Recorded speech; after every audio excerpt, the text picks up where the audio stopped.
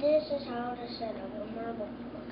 So you get four marbles, the same the same length as this.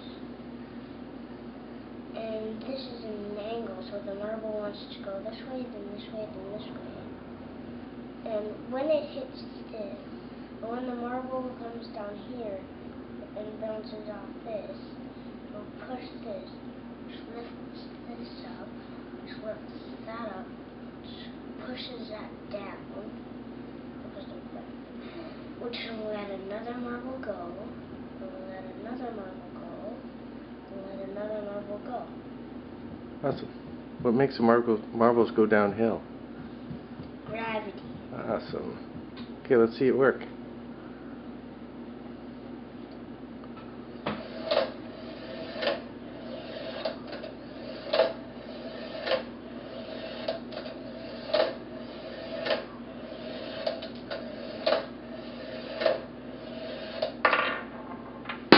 Come on, crashed.